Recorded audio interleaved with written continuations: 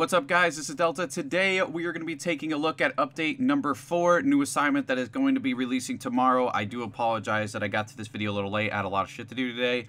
But we are going to go over this thing, super excited for it. It releases tomorrow, March 14th. It brings not only one, not two, but three new operators for the marksman in the support category. And also we have a couple patch notes and I will leave that down at the top link in description below. And also this trailer down in description below if you guys would like to watch it or look at the patch notes or anything. The only things I saw that were interesting in there was that you can defuse mines now. If you spot a mine and you're really close to it, you can actually defuse it which is pretty cool. Uh, the tech jammer, once you lay the tech jammer down, it no longer reveals the tech jammer's location, which is pretty exciting. Then they got the map voting system. They said something about prestige credits in there. A whole bunch of good stuff, so make sure you guys check it out. But without further ado, I'm going to let this uh, trailer roll, and we're going to just pick apart it a little bit. We're going to talk about the operators and some of the new stuff that they're bringing. Hopefully you guys enjoy. Hey Ghosts! Last month, the Ghost War PvP mode saw the release of the new Extraction mode.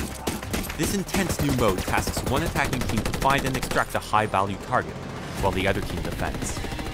On March 14th, to celebrate the end of our first year of Ghost Recon Wildlands content, we are proud to introduce our fourth free Ghost War update, New Assignment.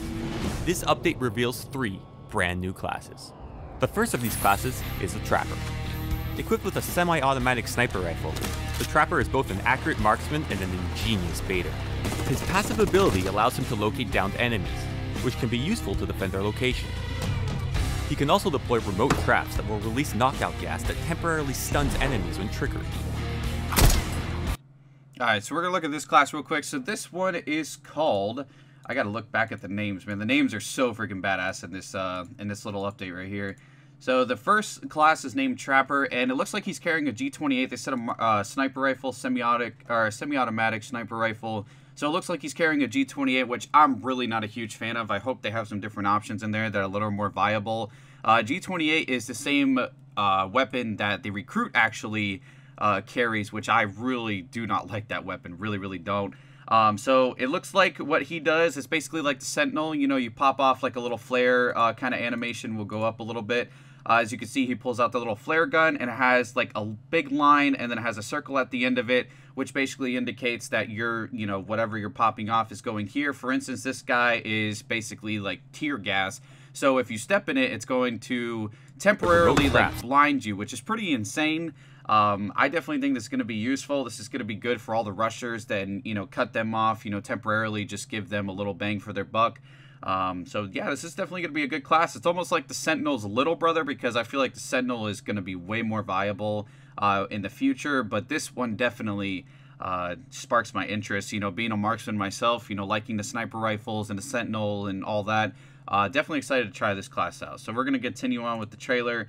Uh, we're going to go and we're going to start off from right here. The second class to join the battlefield is the Guerrilla. The Guerrillas specialize in cover and diversion strategies. Equipped with a smoke grenade launcher drone, the Guerrilla can create smoke screens for both offensive and defensive tactics. Any players inside the covered zones are included and can't be marked by aiming, binoculars, or drones. These smoke covers will allow you to safely revive friendlies and to cover their movements.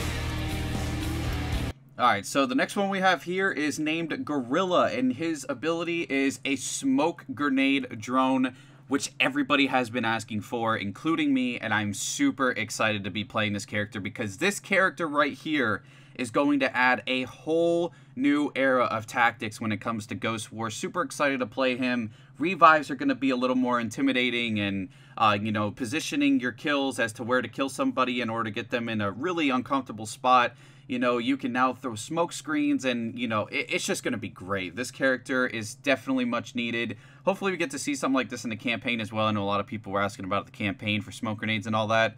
Uh, it'd be pretty cool. But the fact that this thing comes not in like, you know, just a smoke grenade that you throw out of your pocket, it's actually a smoke drone is definitely pretty cool. This one now. The third class of this update is the Stalker. The Stalker is an expert sharpshooter specialize in silently dispatching enemies from afar. Her special ability allows her to mark her enemies without notifying them, creating unpredictable situations in which the enemy can be ambushed.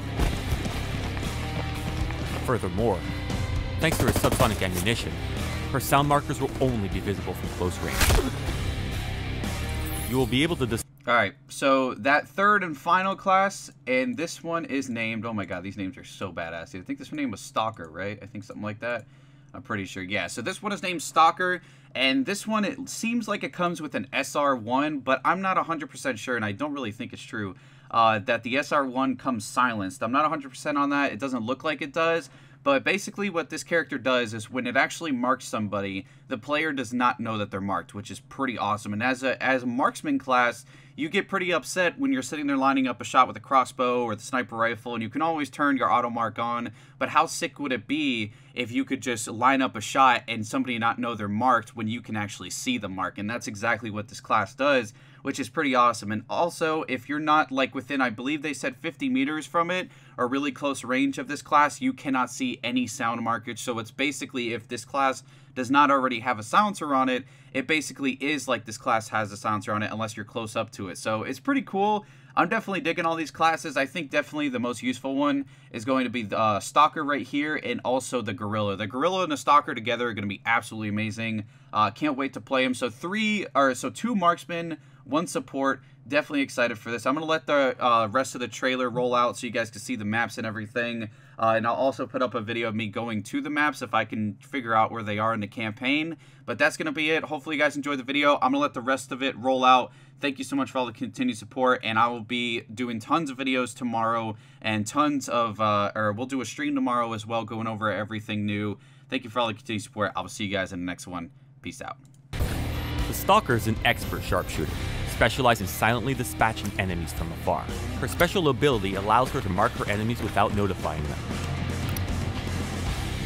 creating unpredictable situations in which the enemy can be ambushed. Furthermore, thanks to her subsonic ammunition, her sound markers will only be visible from close range. You will be able to discover these new classes in the two new maps coming with this update. Finally, and following community requests, a map voting feature will also be included, which allows you to select your preferred maps and modes in between matches. And for those of you that also play the PvE mode of Ghost Recon Wildlands, all icons will now be available for the main game too. It has been a tremendous experience building this first year of content with you all.